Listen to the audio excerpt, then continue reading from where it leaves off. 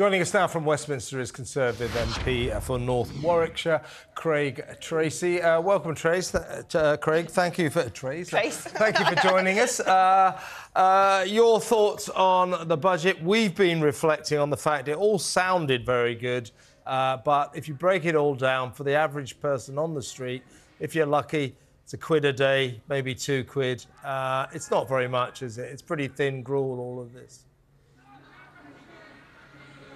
Yeah, I mean, I think there is a lot to be actually really positive about. You know, I was slightly nervous going into it because um, you never know how these things pan out. But I think I was very, very keen that there was tax relief for people in the in the pockets, and you know that's a very significant hit. That two percent national insurance uh, reduction, and, and that will benefit people. And it, I think the other thing is that it will come in uh, in January, which I think is a, is a great move.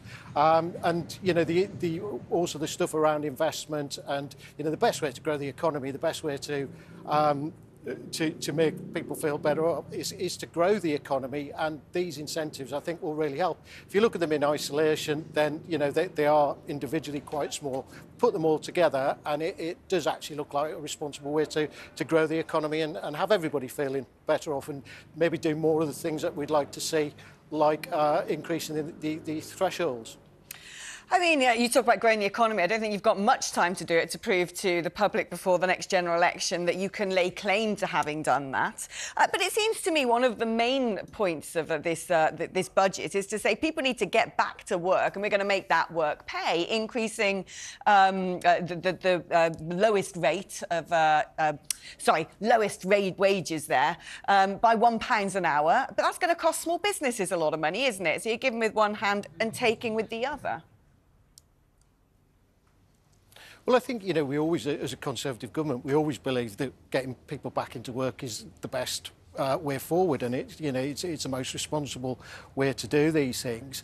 Um, we've got 7 million people out of work at the moment and a million unfilled jobs you know, one of the challenges that we get and the reason that we rely so much on external migration is because, you know, we, we have this pot of people who are not in work that we, we really need to incentivise back. So it's a long-term decision that, you know, it's not going to happen overnight, but I think it's, it's exactly the right thing to be doing.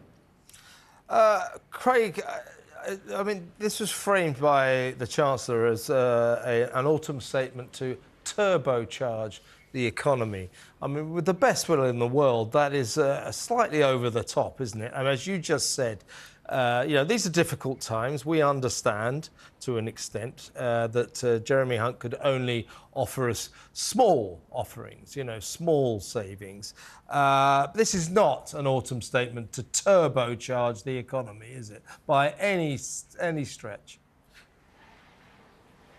So, no, I, I would look at it as a longer term uh, uh, statement. Um, like I say, I think these things will, will take a little bit of time to be realised because investment doesn't happen overnight and the benefits of it aren't seen overnight. But I think it is certainly a responsible way to, to be delivering things.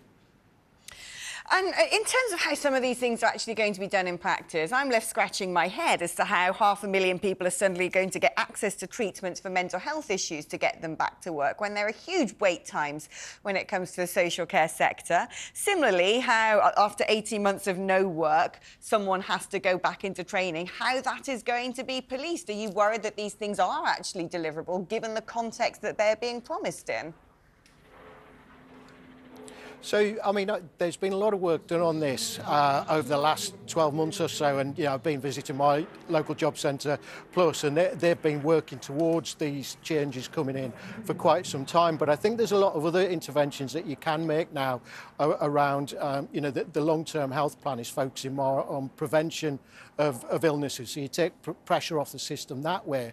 But also things like social prescribing work really well in getting people back into uh, situations and into, into new roles. And I think a lot of the time, you know, some of the challenges that people face, they want to get back into work, but it, it's the confidence to do that. They've been out of the system so long. So I think with these proper targeted inter interventions, there's no reason at all where we can't get you know, a big swathe of people back into uh, the jobs market.